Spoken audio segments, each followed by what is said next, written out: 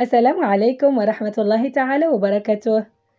مرحبا بجميع المتتبعين واللي باقي ما يتابعوني كنطلب منهم فضلا وليس أمرا أنهم يتابعوني ويفعلوا الجرس باش يوصلهم كل جديد.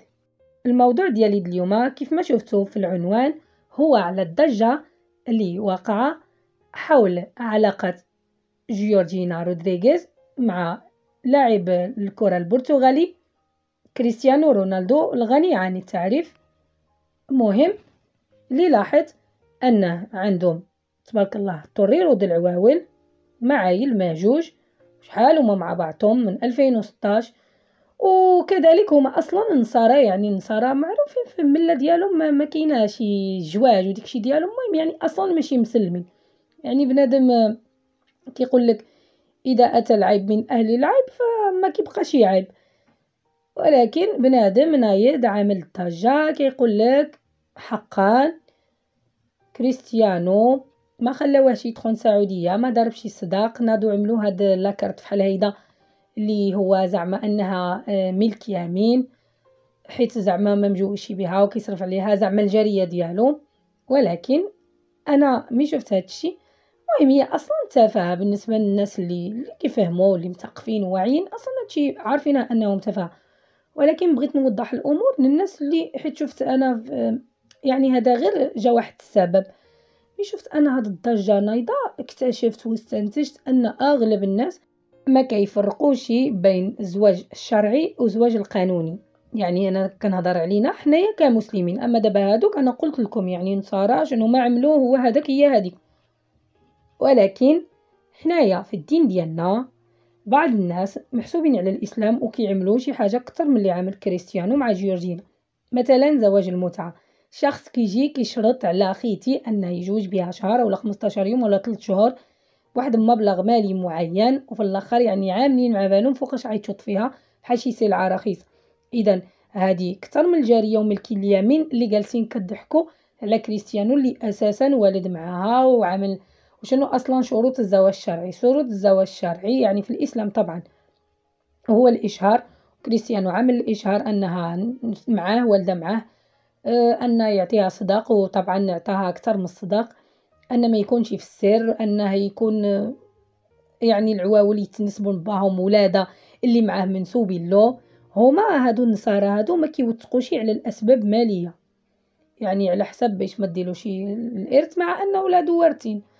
يعني معترف بهم. وحنايا في الدين ديالنا شحال هادي ما كانش إلا كغيتصدق لا والو كان الزواج بالفتحة حيت الناس كانوا رجال وعند الكلمة ديالهم وما كانش كيوقع اختلاط. الأنساب عليها كان الدنيا هانية. من بعد مي بقى بنادم ما كيبقاش عند الكلمة ديالو كيسمح في, في الزوجة ديالو اللي مزوج بها بالفاتحة وكيمشي ويطيش وكيبقى يخليها معلقة وديكشي قرروا يعني الدول المتقدمة الإسلامية أنهم يوثقوا زواج قانونيا لحماية حقوق المرأة والطفل.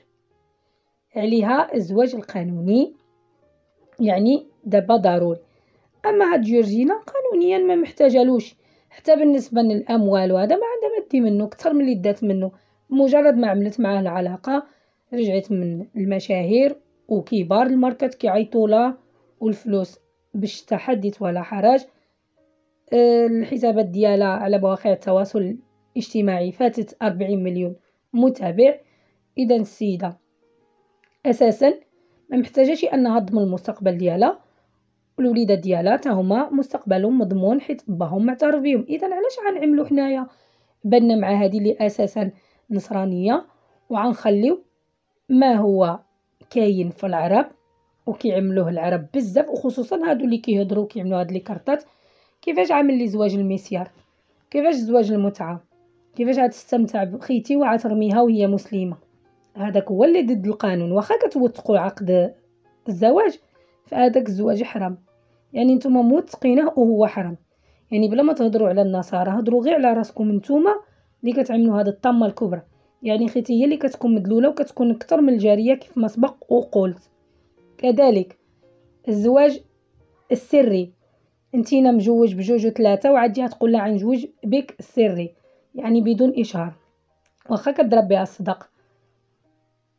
وعقد الزواج راح كيكون الزواج حرام. حتى واحد ما عارف والشرط الزواج شرعيا هو الإشهار. يعني الله سبحانه وتعالى كيفضل أن الزوج والزوجة يشهروا الزواج ويكون خطبها عند ولي الأمر ديالها ويكون عاطيها الصدق ديالها وكل شي عارف. واخا كاع ما يكون شي ظروف اللي حالت دون كتابة العقد كيكون الولاد حلال وزواج حلال. أما نمشي نكتب أنا كغير صداق مع مرا بلا ما يكون عارف حتى الأب ديالها ولي الأمر ديالها ونعطيها الصداق ديالها وتا واحد ما عارف في السر حيت أنا مجوج فهداك الزواج السري هو اللي حرام. أما هادو العالم كامل عارفهم مع بعضهم وعارفهم يعني كيجيني أن الزواج ديالهم حلال بالمقارنة مع بعض الزيجات المحسوبة على الإسلام والعياذ بالله. لهذا بنادم بلا ما يبقى يهدر بما أن ما كيفرقش حتى بين الزواج الشرعي وشروط الزواج شرعيا وبين الزواج القانوني. وحتى النصارى هادو كيعملوها كاين بعض المرات كيزوجوا مدنيا أولا كيزوجوا في الكنيسة. ملي كيزوجوا في الكنيسة كيكونوا زعما عملوا ديكشي طقوس دينية. أما ملي كيبغيو غير يوثقوا زواج مدنيا ما كيكونش يعني لأجل الزواج كحد ذاته كيكونوا على حساب المسائل المادية. أي شخص في النصارى كيوثق الزواج كيوثقوا على مسائل مادية باش كيقتسموا الأملاك ديالهم فيما بينهما. واللي ما كيلجاش في النصارى للزواج المدني كيكون بهدف مادي. يعني ما خصها تقسم معاه فلوسها ما خصو يقسم معاها فلوس هذا هو الفرق. وكيبقاو نصارى وكل شيء ديالهم حرام في حرام ولكن حنا المسلمين هي اللي خصنا نردو بالنا راسنا أما هادو ما ندخلوش فيهم.